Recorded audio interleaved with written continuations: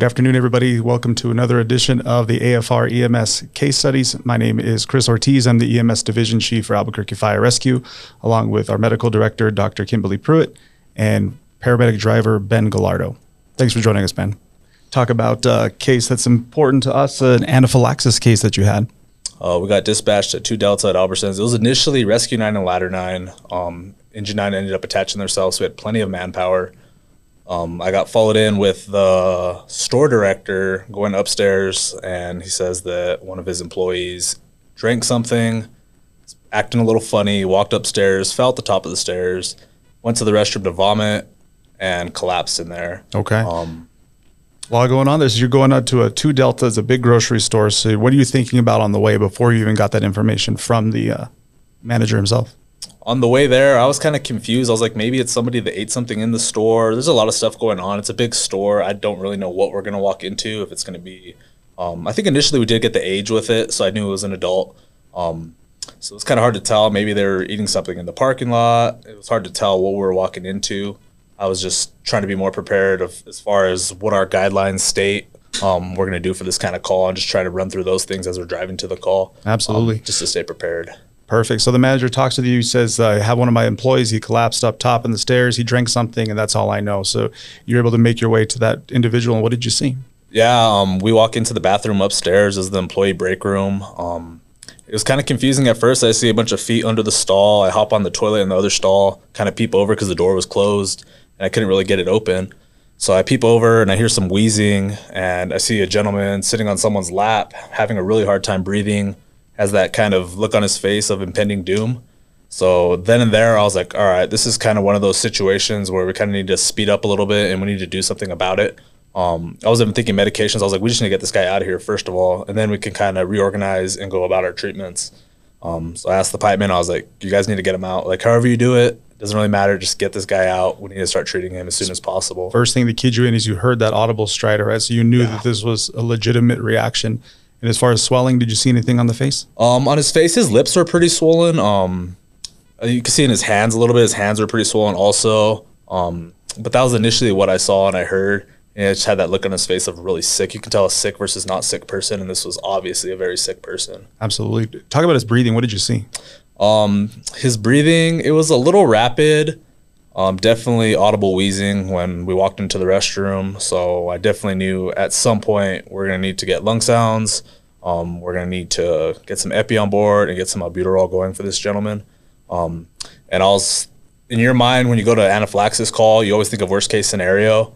Um, if we don't act fast, this potentially could get to the point where we're going to have to get really aggressive with the airway, um, either go the intubation route or might even have to correct this guy if it gets that bad. Um, Absolutely. to where his airway is completely swollen shut. Absolutely. Tell us about the history you're able to get from him. Was there any, just given his condition? It was kind of hard to get a history on him. So he was initially not A and O, but he was still able to kind of follow commands a little bit. He was able to walk outside the restroom with the help of the pipeman.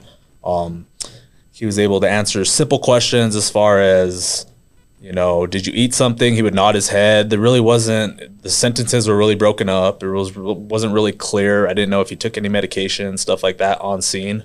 Um, yeah, I think he was just working extremely hard to breathe. I think his airway was kind of shutting up a little bit before we gave him uh, the Duoneb and the Epi.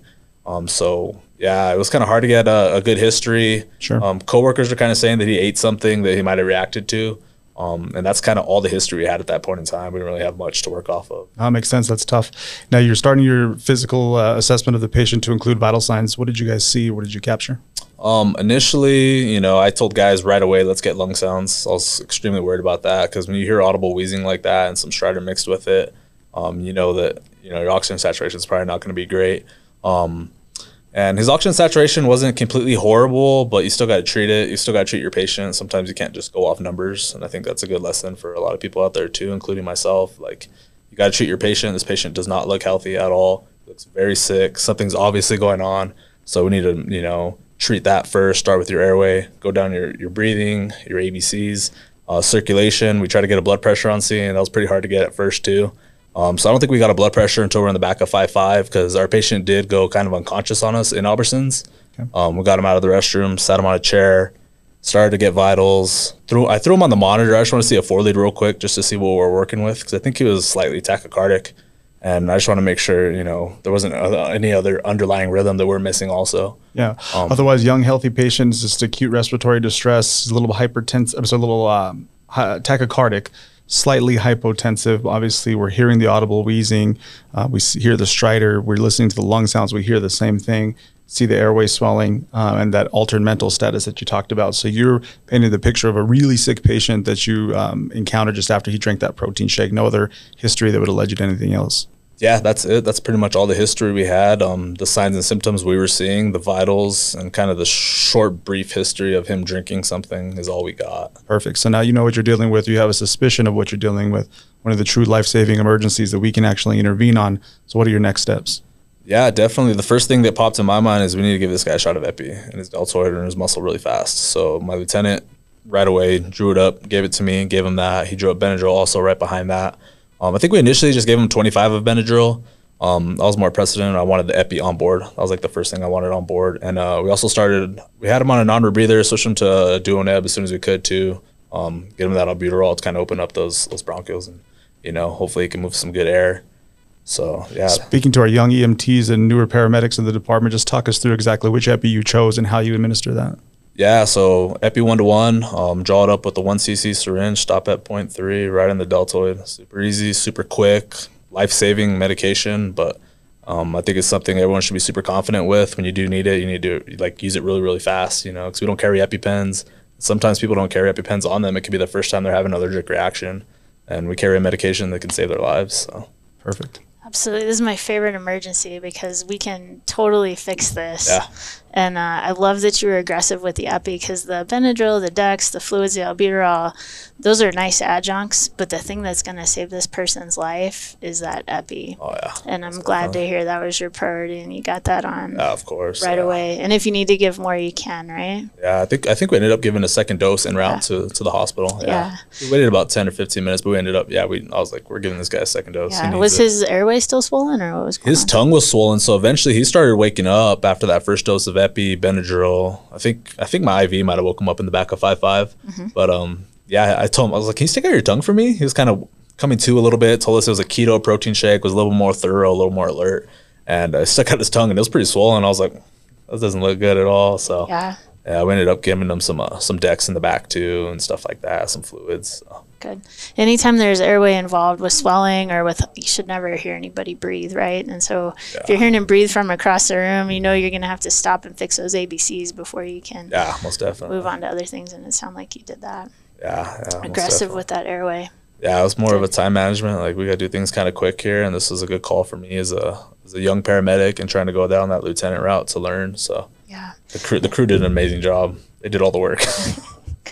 And you gave that medicine right in the bathroom, right? You didn't like wait to move him to the rig before you treated him. And no, yeah, we treated him in Albertsons. Um, Good. Five five, I think, was getting set up, bringing us a mega mover, getting the gurney set up, and all that stuff. So in that time frame was while they were doing all that, I was kind of screaming at them to set stuff up. We're gonna get this guy. He can't walk. He just went unconscious on us.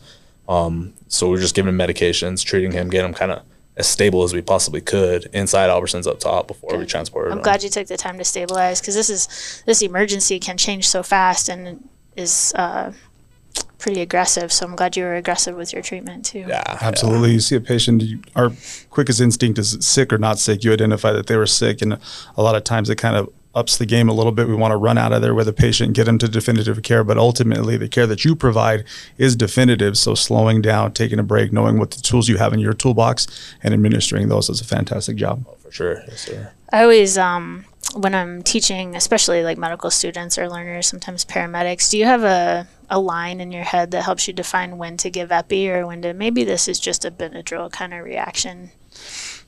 I think for me personally, I haven't been on a lot of anaphylaxis calls, like true anaphylaxis shock, where mm-hmm. you're getting super aggressive with this patient. A lot of them have been minor, but I've been on a couple.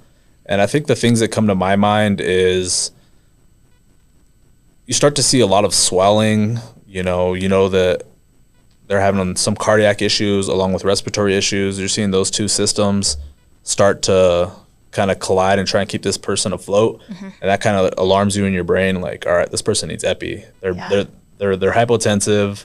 They're not breathing well. You know, their airways swelling. There's all these things going on. Right? It's like You know, sometimes you see cartoons or that picture we had of Will Smith, Yeah. where everything starts swelling, and you're kind of like, all right, this person needs aggressive treatment. Mm-hmm. And I think epi, you know, is the first thing that comes to my mind right away. And Doc has it under teaching points too, as far as skin findings. A lot of us are looking for that urticaria. They're looking for some sort of hives, like something obvious, and it's not always going to be there No. in every patient. So it's good to know. Yeah, those two systems. I always try to convince myself if there's two systems involved, whether it's airway, can be skin. A lot of times in kids, we see GI. We forget, like, if they're vomiting or they have diarrhea, that counts. And so, um, very aggressive with the airway. Anytime there's swelling or airway involvement, I'm extra, I lean more towards the epi early. But if I'm ever on the fence, if I can convince myself that there's two systems, then I'll go ahead and give it because it's it's such relatively such a small dose and such a potentially severe emergency. It's a good decision to be Yeah, aggressive no, with I, it. I agree 100%. Yeah. yeah. Yeah, it was weird. I lifted up a shirt too. I was looking for hives or urticaria, and none of that stuff was there. It was the hand swelling that kind of stood out to me too. I was like, all right, something's up. Like, Yeah. you know, hypotensive, swelling in the hands, airway issues. I was like, a lot's going on here. It's two know? systems. Yeah, I was Yeah. like, there's a lot going on. So yeah. Well, let's be aggressive with this patient. Excellent job. Excellent you. job.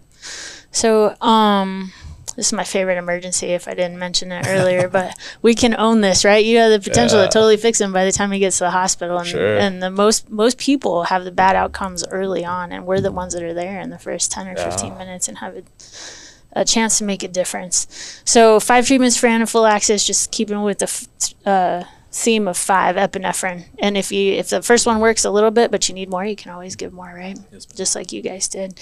Uh, dexamethasone, the steroid, it's not going to kick in right away, but it's going to slow down that response. Benadryl, some saline if they're hypotensive, maybe fill that tank. And then uh, albuterol if they're wheezing, just like you guys did. You nailed it. Yeah, everything happened so quick, but you know, the crew, the crew did a great job. You know, ladder nine, engine nine, those guys were there and they were aggressive. So Good. like, Ben, what do you think about this? I'm gonna do this, and I didn't have to tell them half the stuff. They were just like on it. You know, It's fantastic. kind of nice. Yeah. Yeah. Just, We good teams out there. yeah. So That's great news. All right. Anything uh, last nuggets you want to share with everybody watching, kind of what you took away from this call?